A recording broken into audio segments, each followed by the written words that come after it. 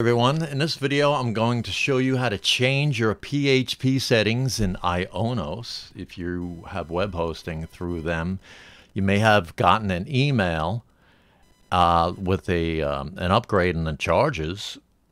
Now, let me just show you this. I've been paying $12 a month for basic hosting. I really don't use my websites that much, but I like having it up, up there. It's a hobby for me.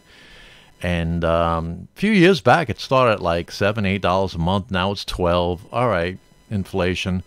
But then I noticed a uh, what you see here is a PHP 8.0 extended support, 871 a month. So instead of twelve dollars a month, I'm now paying about twenty-one dollars a month and change. It's about 75% more. So holy chamole on that. So you may be in the same situation, what's in, like, what the heck is that? Do I need PHP? What's going on? So here's the thing. Um, every few years they update this PHP, and, and let me just show you what that means anyway. It's part of a certain web hosting. It means hypertext preprocessor.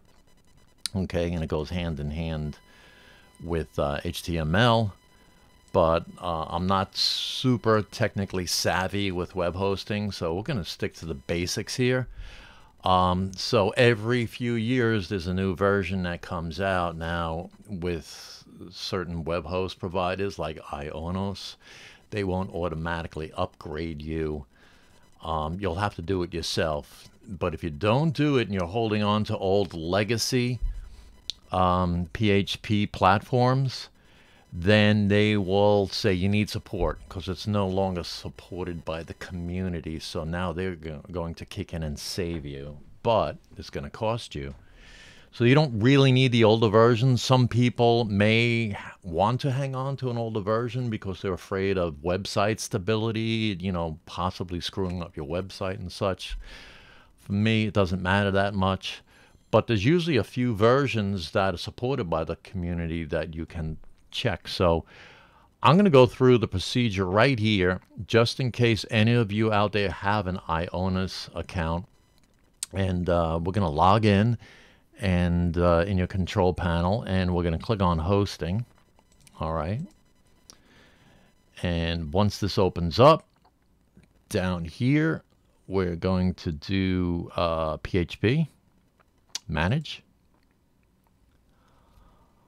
Okay, and then here are all my hobby websites.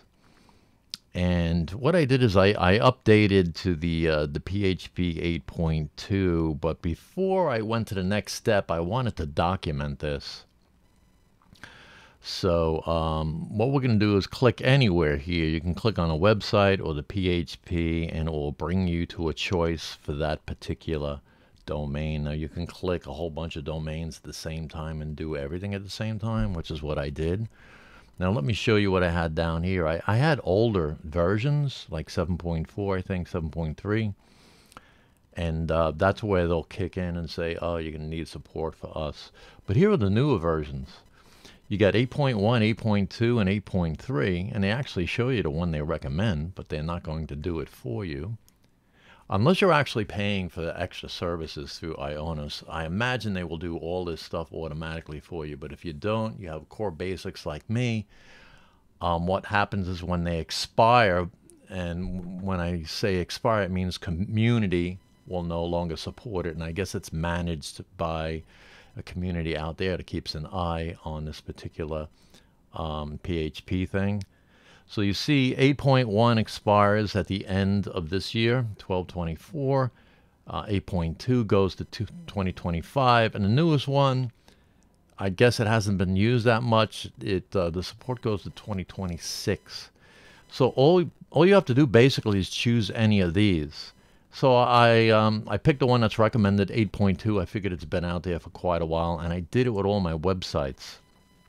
All right, and after you do that, um, you click save.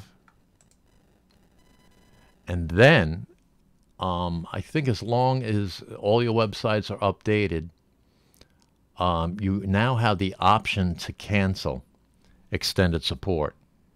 And um, see, you'll get this here. So uh, let's see, extended. So now I'm not too sure if this is covering all my websites or just the one vegan tiger. So uh, let me see what it pulls up.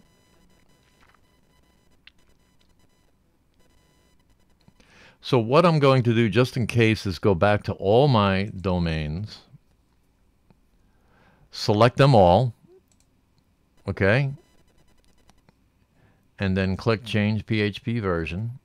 I'm going to click 8.2. Now I did this already, so I'm going to do it over again. Hopefully it doesn't mess up my websites. Okay, um, it's going to ask you if all your websites work good.